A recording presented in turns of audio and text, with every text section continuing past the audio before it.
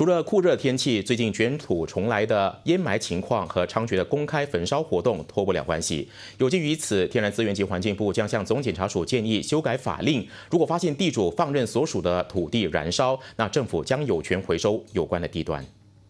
部长拿督斯里旺朱乃迪指出，这项修改建议将包括公开焚烧的私人地段以及农场，因为这是导致空气污染和烟霾来袭的主因。帮助乃迪举例，沙拉越州目前实施的类似条例，将这些土地称为重收土地，并交由政府来管理。由于现有的法律不足以管制焚烧活动，因此政府建议采取更严厉的对付行动。